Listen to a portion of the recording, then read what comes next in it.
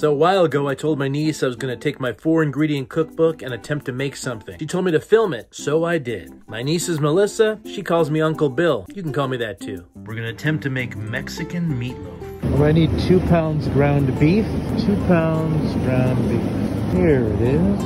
Let's get three pounds. Trying to find picante sauce. Picante sauce. Picante sauce. I have no idea. Picante sauce. And once again, it shouldn't surprise you. I am clueless.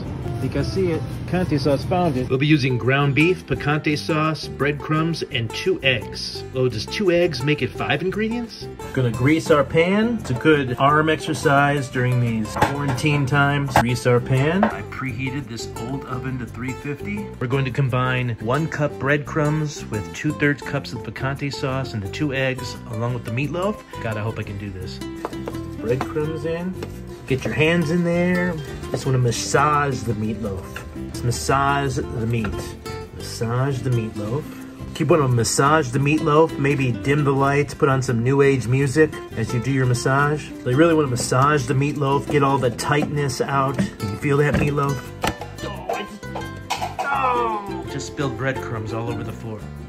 Gosh, what do I do, Hobo? Well, this part wasn't planned, but you want to sweep up the breadcrumbs that you dropped all over the floor. And it sure helps that the floor is the same color as the breadcrumbs. I'm just curious, does the broom count as the sixth ingredient? I'm stepping on them. I'm stepping on the breadcrumbs, but I can't see them. You want to sweep all your breadcrumbs up into a pile and maybe go get more breadcrumbs. Bet you can't even tell there were breadcrumbs there, can you? We continue our massage. Now you want to mix the picante sauce in. We got the meatloaf, the picante sauce, and the breadcrumbs all mixed in. Now we're going to form this into a meatloaf. How the heck do I do that? Form this into a meatloaf somehow. What do you think? Not too bad. I forgot the eggs. I added the eggs. All right, our food is ready. Just kidding. What's for dinner? I made Mexican meatloaf. Mexican meatloaf? Mexican meatloaf. How do you say meatloaf in Spanish? I think it's just Mita Lofa. Ask Alexa.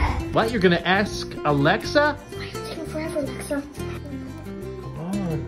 Alexa, how do you say Mexican meatloaf in Spanish? Mexican meatloaf in Spanish is pastel de carne mexicana. Now, why didn't you know that? All right, so our pan has sperm stuck on remnants. This is a trick I learned a long time ago. Take dryer sheets, put a detergent in, and just let that sit. And then in the morning, you should be able to clean it right out. This is our Mexican meatloaf with corn, roasted potatoes. All right, so how was it? Good. So how was it? Pretty good. I liked it. It was so good, especially the corn. So the best part of the meatloaf was the corn. We had Mexican meatloaf, and how was it? It was the best in town. Thanks for watching. Be sure to subscribe to more videos like this. Please follow me on Instagram, Facebook, Twitter, and I just joined TikTok.